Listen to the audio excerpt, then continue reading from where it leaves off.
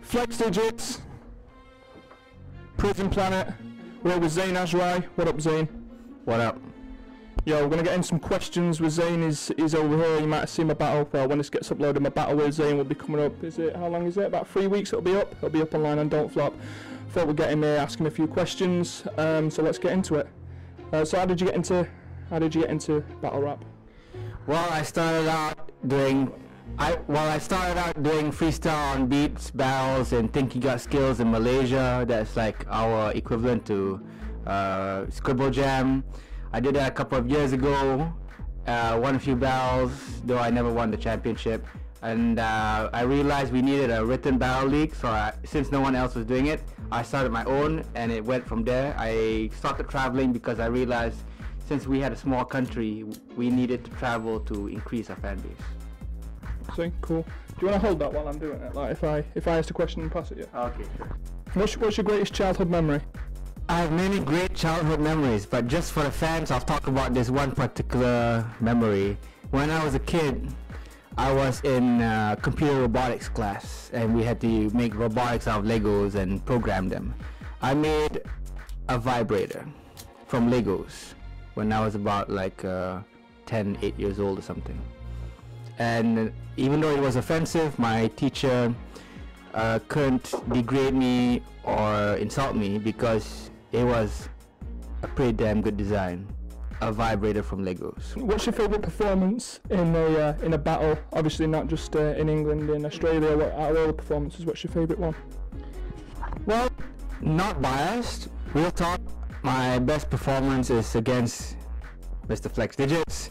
The first two rounds, uh, because I really trained hard for that. Um, I tried to go a certain angle in the third round, but Flex said, "No, man, that's not true." And it, went, it felt kind of awkward, so I fucked up the third round. But first two rounds, I reckon, were my favorite performance ever. Uh, second is the one in Australia against Threats for Grind Time Now Australia.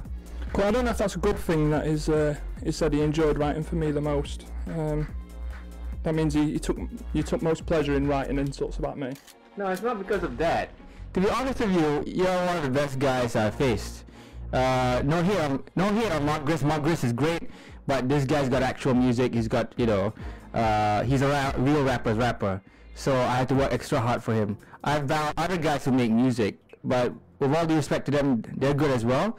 But Flex is the most technically gifted of all of them. Um, real talk. Thank you very much, Jay. Thank you. Um, so, if Hollywood made a film about you, uh, who would you like to play yourself? Wow, I don't know. Um, I'd say a newcomer, or better yet, to make more money for myself, I should play myself to get paid. Yeah, that's it. you also do a bit of acting, don't you? You done a bit. Of... Yes, I'm also an actor. In Malaysia, I've been in several TV shows for prime time, and you can see me in my debut uh, acting role on television in Wira Sithwi. I play a nerdy computer hacker in a film about a girl, get this, who gets raped. Eh, Encik tak boleh buat begini. Encik tak berhak buat begini. Zack, dia berhak Zack. Ma- Mana boleh? Betul ke? Um, if we were if we, if we were to go into your house now, what we're likely to find in your fridge?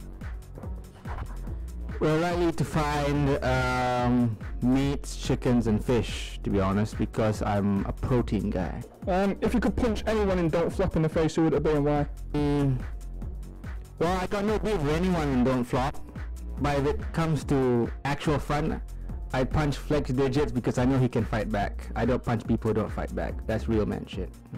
I respect that. I respect that. we all know he can fight back. Come on. Have you seen the Hallahan sex tape? I'm afraid not, but I do not uh, condemn such a thing. As long as it gets you views and people download it and pay Hallahan, go Jeff. Is it gay for a man to give another man a massage? Um, no, it isn't, unless it's of a sexual nature.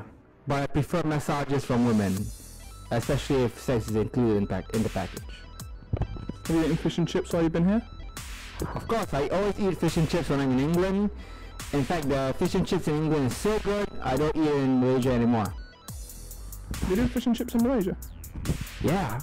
Uh, but it's crap compared to the one in, Malay- in in the UK. The one in Malaysia, they get it all wrong. They have French fries, not chips. It's never beer barrett, and it's never haddock or cod. It's always this other shit. And I get on some of the uh, Twitter and Facebook uh, questions. Um, I put it up on, as a status in a tweet earlier. Some people obviously get like, quite a few here, so I'm just going to go through a few of these questions now. Uh, Andrew Hagley, I think you pronounce it, uh, asks, have you ever been raped? I'm afraid I have never been raped. I'm sorry to disappoint. I'm capable of defending myself against rapists. Okay. Tom Ball asks, if you could battle anyone, who would it be? Hollow Da Don. But then again, that's a dream matchup. Reality is a different issue. So in, rela- in reality.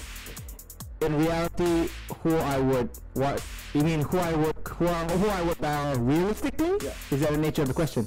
Um, I would want to battle J Pro. Uh, um, but then again, I don't know if that's realistic or not because he's probably gonna get buzzed from King of the Dot. Um, I suppose uh, Plasma from the Philippines. Don't fl- uh, in Flip Top, that's realistic, but I love to bow him at one point. Uh, in Don't Flop, I love to bow. Hmm. Actually, who I would pamphlet, yeah, at one point. That'd be good. Nash from DFI Shout Island uh, asks, is your knife game really crazy? Um, it's not as crazy as Chase from Australia. That guy is much better than I am. The guy is a professional butcher, and he knows how to do all the cool knife game shit. So he's a lot better than I am. So although I say my knife game is crazy, I don't dare say it's as crazy as certain other people like Chase. Uh, Leon Ward asks, uh, he'd, he'd like to know what knife is the best for, obviously, displaying your butchery with the knife. What, what, what knife is your personal favourite?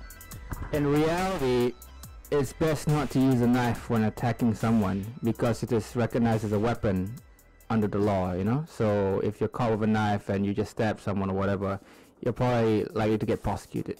If you really, want to stab someone, better use a household object like a pen or a toothpick or a ruler that's broken because these are seen as household objects that are totally legal and you can't get prosecuted for having possession of such items. No joke. really? No joke. right, okay. Uh, Pete Cashmore um, asks, uh, how does autism affect you and um, what sort of advantages or disadvantages does it give you um, as far as rap battling is concerned? Well, autism has affected my social ability, to be honest. So let me put it this way: when your girlfriend, your when your girlfriend asks you if she's fat, there's that part of your brain that tells you if you tell her she is fat, you're not getting laid. That part of your brain is supposed to advise you on what is socially inappropriate and what is appropriate. It's instinctive. It's not taught to you. You just know it.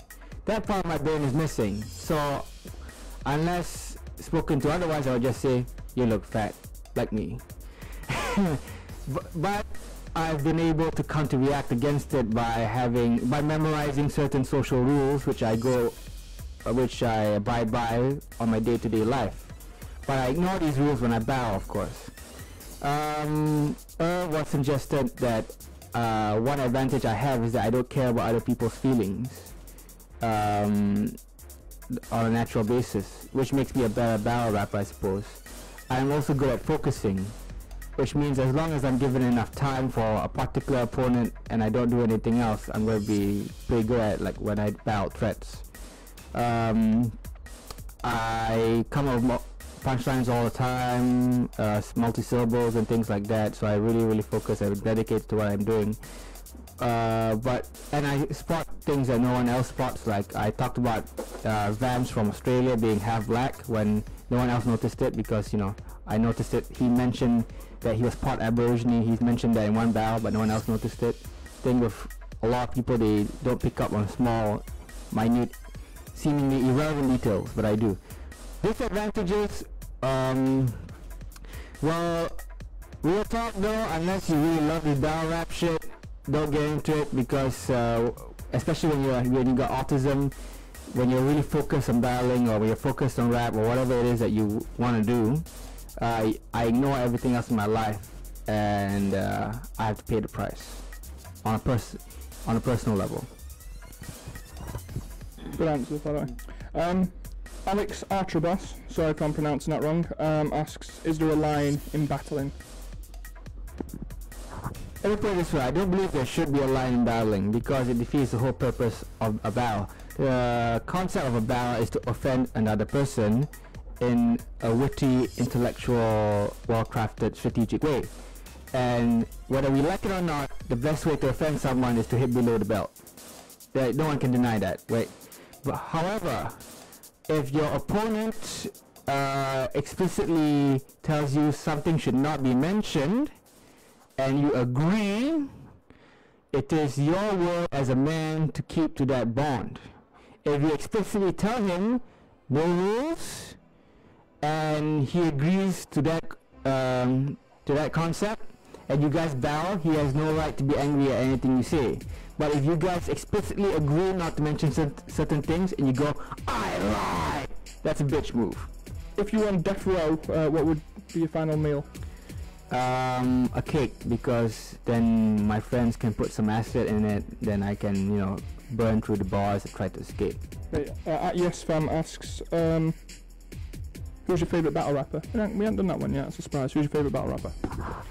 My personal favorite is Hollow Da Don because the problem with many battlers is that they need a lot of long setups with complex multis to build up to a punchline and they can't do it without doing that. With Hollow Da Don, he can have these relatively simple multis and it's so effective.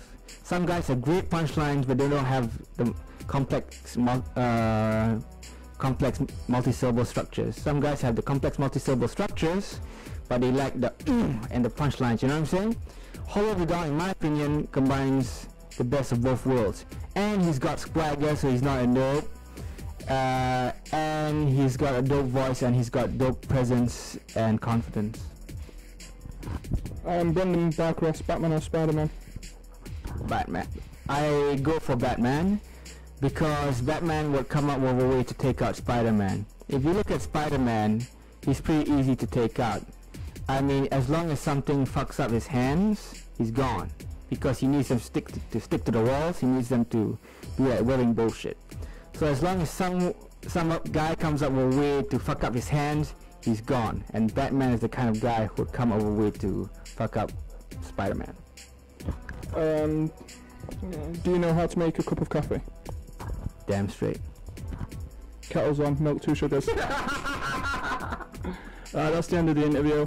Shout out to Zain Azrai, Evil Poet Society. No, right. It's MY Battles now. Evil Poet Society is no longer around. We're revamping it. MY Battles, my rap battle league in Malaysia. You might see me there 2013. You never know, I might be back in Malaysia to battle. Okay, another thing, Flex. Can you me back my 10 pounds now? no, it's my idea. Two pounds on there. That's go.